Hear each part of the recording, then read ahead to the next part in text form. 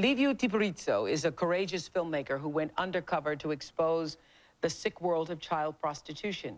Why should you care? Well, increasingly, the men who prey on these children are wealthy Westerners. In many cases, the children are actually trafficked to the United States and forced to work as sex slaves. This disturbing look starts in Romania.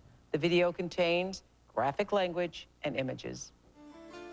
Liviu catches up with an old friend, a 15-year-old named Laurențiu, who has already been turning tricks for three years. Laurențiu says there are dozens of Western pedophiles in Bucharest. American, German, Dutch, and British. He talked frankly about his life on the streets and the German tourist who just paid him for sex. Mers pe el acasă, am, um, am um, făcut toată cu ăla, Și îți dea ceva? bani.